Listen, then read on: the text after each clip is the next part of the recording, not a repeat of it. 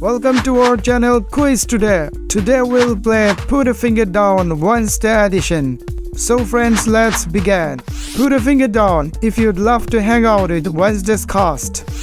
Put a finger down if in real life you have a friend like Enid. Put a finger down if you almost cried when Wednesday hugged Enid back. Put a finger down if you ever went to a carnival. Put a finger down if you follow Jenna Ortega on Instagram. Put a finger down if you have watched Wednesday twice.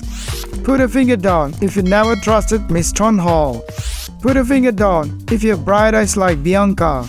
Put a finger down if you wish Wednesday and Xavier ended up together at the end. Put a finger down if you believe Tyler actually had feelings for Wednesday. Put a finger down if you tried Wednesday's viral TikTok dance. Put a finger down if you have seen the animated movie The Addams Family. Put a finger down if you know how to snap your fingers. Put a finger down if you mostly wear black.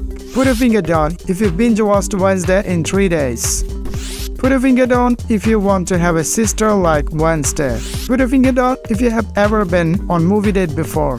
Put a finger down if you want to solve mysteries like Wednesday.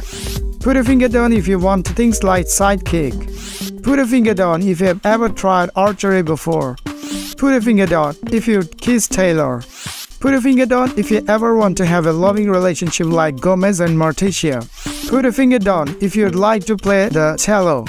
Put a finger down if you dislike Bianca at first but love her at the end. Put a finger down if you if you paint your fingers nail different colors like Enid. Put a finger down if you intend to dress up as Wednesday for Halloween. Put a finger down if you have ever tried fencing.